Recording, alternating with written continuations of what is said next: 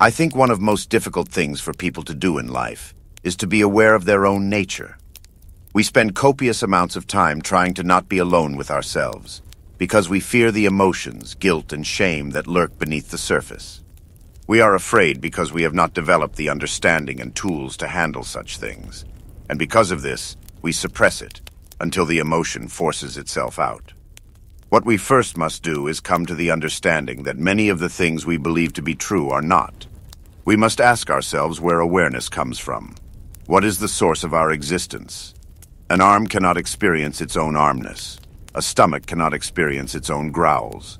A hand cannot experience its own touch. So if the body is not the source, then we must assume that the mind is the source of our being. Yet a thought cannot experience a thought. A mind cannot observe its own thinking. It is something higher that is observing the entire system. It is a field of awareness that is experiencing it all, an observer.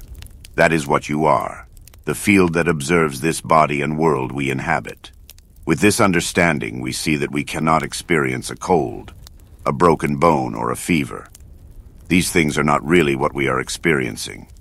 We are experiencing a set of sensations and feelings which we label. For example, someone may feel they are stuck in fear. But what they are really feeling is a certain set of sensations. Clammy hands, a tight stomach, a racing heart, a lump in the throat. Yet for someone else or in another situation, these same sensations would be called excitement. So it is not really fear. It is the sensations we call fear that trouble us. If we are feeling anxiety or fear, we must first be aware of what we are really experiencing.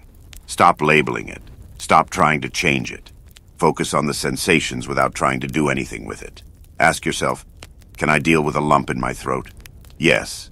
Can I deal with my heart racing a bit? Yes, I can deal with that. Can I handle the tension in my stomach? Yes. We begin to see that we have dealt with much worse than these set of symptoms, and that they are really nothing at all to deal with. What we cannot deal with, however, are the thoughts that stem from emotions. One fear thought can generate hundreds more. The true source of thoughts, however, is emotions. So we must not focus on dealing with the thoughts, but the emotions. So we break down what it is that burdens us if we must. But in reality, all it takes is the understanding that once we let something be and don't try to change it, the sooner we will be rid of it. Negative emotion wants an outlet. It does not want to be with you just as much as you don't want to be with it. The attitude one must have, however, is one of indifference. If you are feeling anxiety, you say, I don't care if you tag along, but there are things I have to do today. We do not allow the feeling to control us. All fears really come down to a fear of death.